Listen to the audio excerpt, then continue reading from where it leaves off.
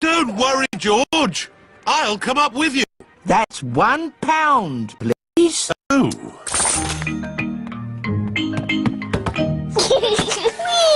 George isn't afraid of heights anymore. ooh.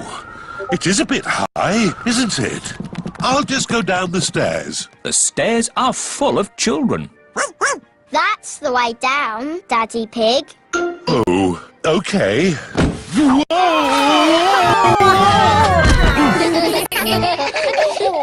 Roll up, roll up. Hit the target